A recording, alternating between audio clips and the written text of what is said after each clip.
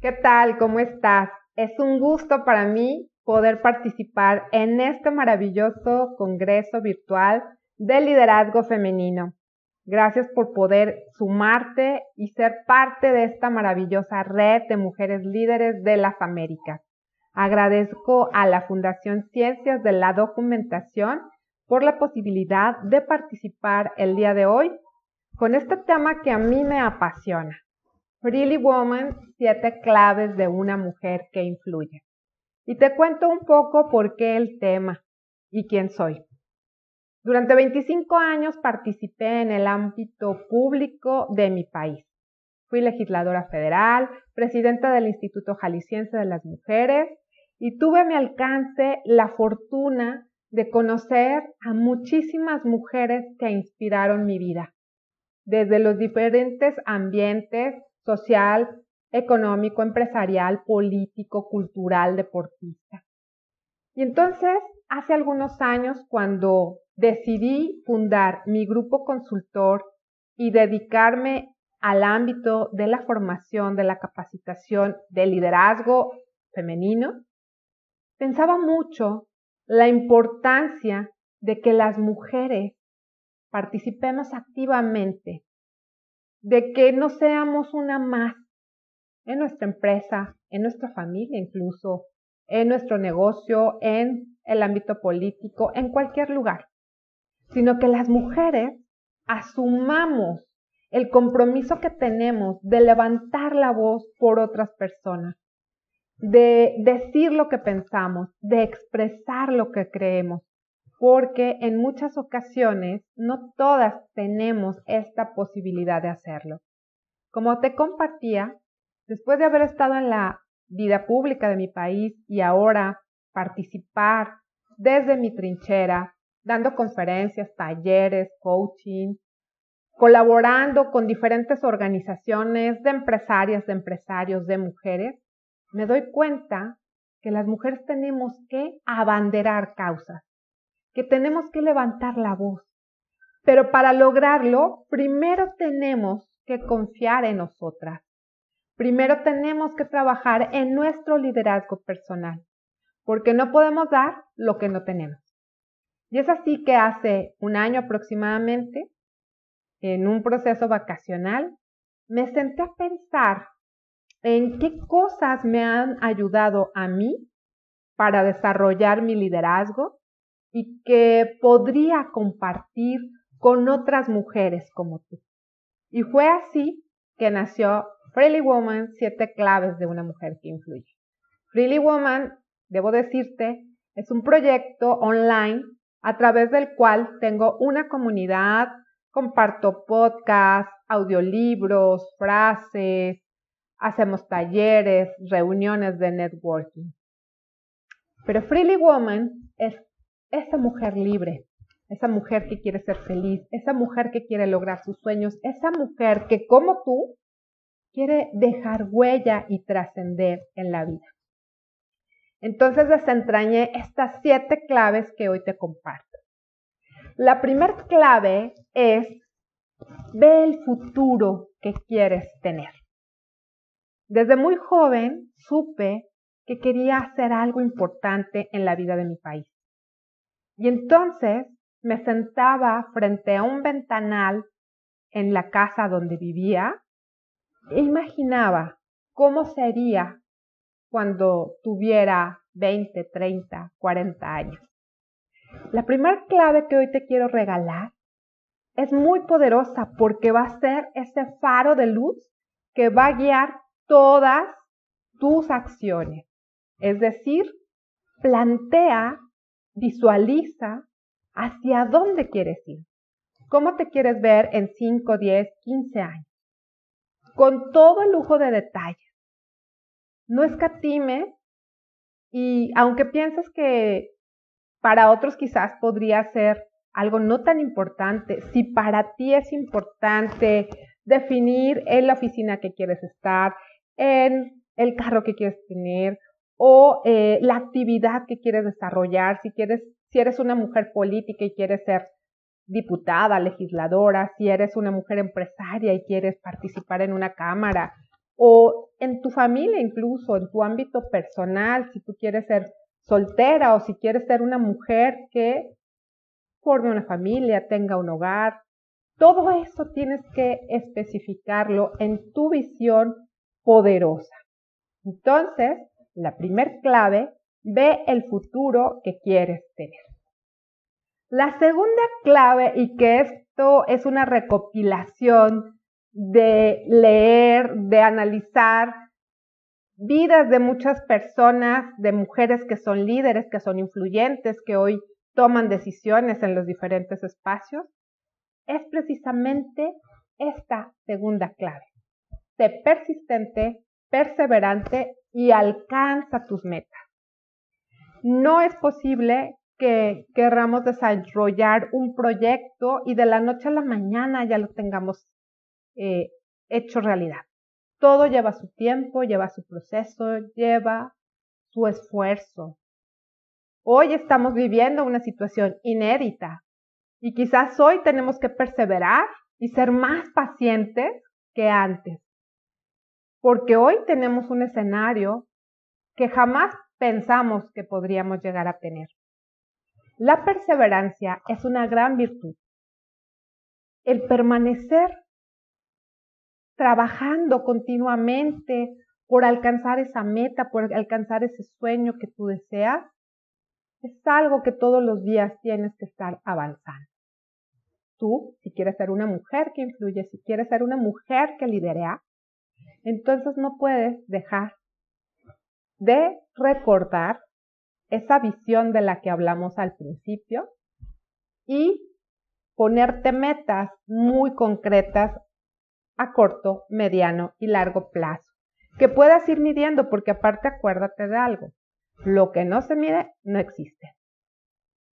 Tercer clave, rodéate de personas brillantes y aprende de ellas. Algo que yo he valorado mucho de las personas que han sido mis maestros, coaches, mentores, guías, ha sido precisamente su acompañamiento. Por mejor profesionista que seas, el rango que tengas más encumbrado, siempre vas a necesitar a alguien que te dé contención, alguien que sea tu espejo, tu reflejo, alguien que te dé tu feedback, que te ayude a identificar si estás en el camino correcto, si tienes que cambiar algunas otras cosas. Claro, al final tú siempre tomarás la decisión, pero esa persona te va a ayudar a caminar, a recorrer ese camino y te vas a sentir acompañada y no te vas a sentir sola. También quiero comentarte que he identificado que en algunas ocasiones llegan personas a nuestras vidas que no precisamente nos aportan cosas positivas, pero que era necesario que vinieran porque algo teníamos que aprender también de ellas. Así que esta tercer clave, rodéate de personas brillantes y aprende, aprende todo lo que te aportan.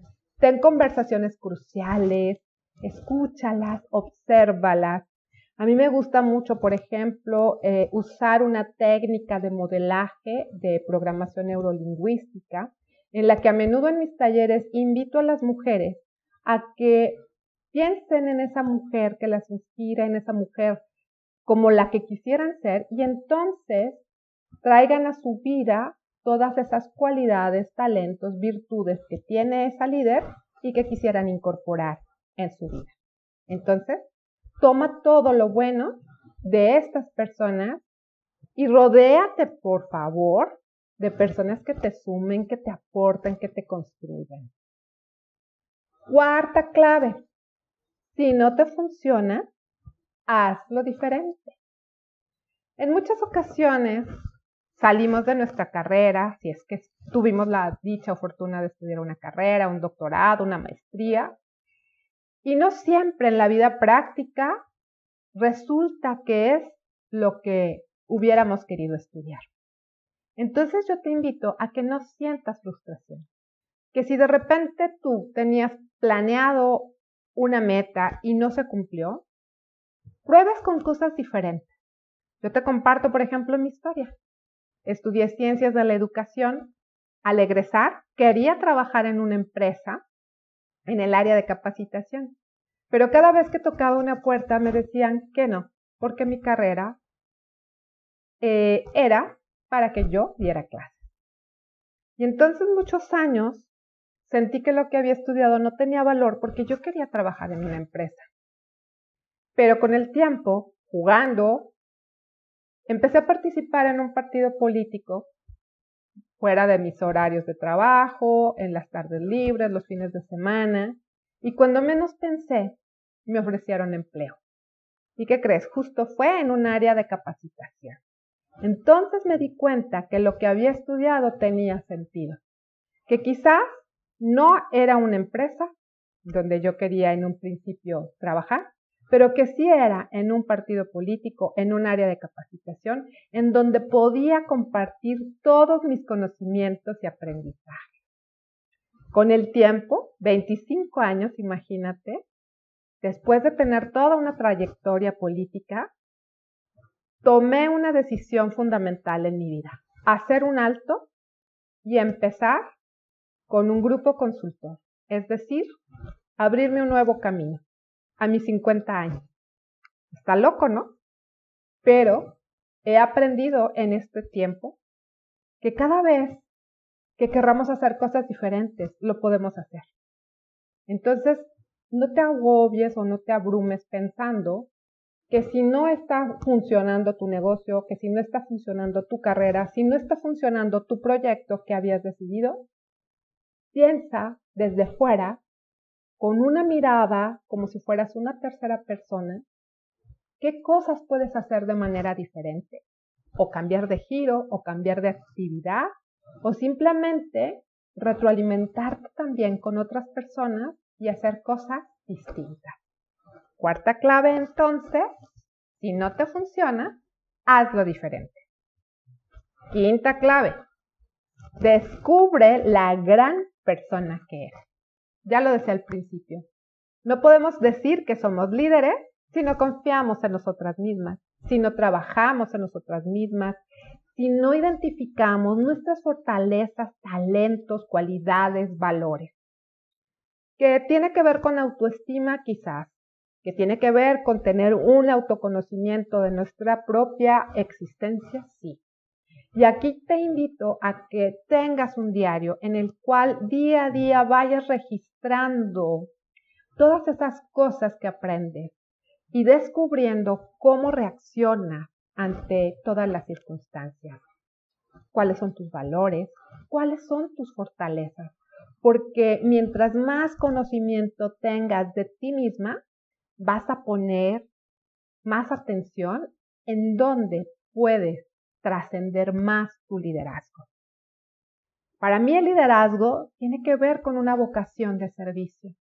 El líder, la líder, es la primera persona que se para y abre camino, que da el ejemplo. Entonces, mientras más se conozca esa mujer líder, mientras más se descubra a sí misma, más va a poder ser una mejor guía, una mejor acompañante y también decidir qué si quieres en tu vida y qué no. Quinta clave entonces, descubre a la gran persona que. Sexta clave, y tiene mucho que ver con esto último que te decía. Elige ir al frente y deja que tu luz brille. ¿Cómo te suena esta quinta clave? Deja que tu luz brille. Ir al frente. ¿Qué es eso? Ser una líder. Y una líder, en toda su extensión de la palabra, es esa persona que analiza, que valora el contexto, que sabe identificar a cada miembro de su equipo, que sabe caminar de la mano con ellas y ellos. Y que asume riesgos y toma decisiones, que a veces no es fácil. Pero esta líder de la que te hablo, esta Freely Woman, que elige ir al frente y que deja que su luz brille, es esta persona que con su sola presencia se nota o que también cuando no está, su ausencia se percibe. Te invito a que no tengas miedo y que elijas ir al frente y que puedas abrir camino a otras mujeres que vienen tras de ti, como lo hicieron seguramente muchas que han ido adelante de ti. Sexta clave, entonces, elige ir al frente y deja que tu luz brille. La séptima clave es una gran sorpresa. ¿Por qué? Porque esta séptima clave tiene que ver con que tú identifiques cuál es tu propia clave. Es decir, construye tu propia clave. ¿Cómo has hecho tú para influir en la vida? ¿Qué acciones, qué eh, cosas, qué decisiones has tomado tú en tu vida? Y entonces me gustaría que como si estuvieras ante ese gran escenario, eh, como en una pantalla de cine donde veas tu vida, con mucha claridad, recuerdes ese momento en que tomaste una decisión, en que asumiste un riesgo, en que optaste por algo muy difícil e identifiques cuál para ti es esta séptima clave de una mujer que influye. Repasando entonces, tenemos que Freely Woman, siete claves de una mujer que influye, tiene que ver con todos esos talentos, cualidades, virtudes, actitudes que tú como líder vas asumiendo en la vida. De repente pensaba yo en estas mujeres que han sido líderes de la historia. Una princesa Diana, una Madre Teresa de Calcuta, Coco Chanel. Mm, ¿Quién más te gusta? Michelle Obama, Angela Merkel, eh, tantas mujeres que seguramente tienes a tu alrededor y que tal vez no te habías dado cuenta que están influyendo en la vida de otras personas. Yo quiero invitarte a que tú hoy te pongas en este lugar y decidas ser esa mujer que influye. Porque las mujeres que influyen encuentran en el amor propio y hacia los demás la realización en su vida. Porque las mujeres que influyen con sus acciones inspiran a otras personas. Las mujeres que influyen son capaces de transformar su vida y la de su entorno. Las mujeres que influyen son inspiración para otras personas. Eso quiero invitarte hoy, con esto quiero dejarte, con esta idea de que tú hoy asumas el control de tu vida y decidas ser una mujer que transforma. En una sociedad post-COVID, en un mundo post-COVID, que ya cambió, que es otra la situación que hoy viviremos, se van a necesitar seguramente mujeres fuertes, decididas, firmes, convencidas de hacer los cambios que se requieran hacer en nuestros países, en nuestros negocios, en la educación, al interior de nuestra familia. Hoy, la invitación que yo te quiero hacer con esta conferencia es a que te convierta en esa inspiración para jóvenes, para adultos, para las personas que tienes a tu alrededor. Las mujeres que influyen hacen no solo que su vida sea mejor. Y hoy es eso lo que quiero compartirte, lo que quiero transmitirte. Esta información que viene de una mujer que es mamá, que fue política, que hoy es empresaria y que día a día trabaja para mejorar como ser humano y como persona. Y cuando pienso en todos los retos que yo he enfrentado en mi vida, que te comparto hace tres años, inclusive tuve una situación de salud muy delicada, lo que más me ha impulsado a salir adelante es pensar en esos proyectos que quiero hacer para trascender. Cuando escribí mi libro, La aventura de la vida, relatos de una mujer en la política, era cuando sentía que la vida se me acababa. Y entonces, junto, justo en ese momento, mi reto más grande fue pensar en futuro, tener un proyecto ambicioso, porque eso me iba a permitir salir adelante. Y así fue. Hace un año que escribí este ebook que quiero obsequiarte. Te voy a dejar aquí al final mis datos para que me contactes y con mucho gusto te voy a enviar mi ebook Really Woman, siete claves de una mujer que influye.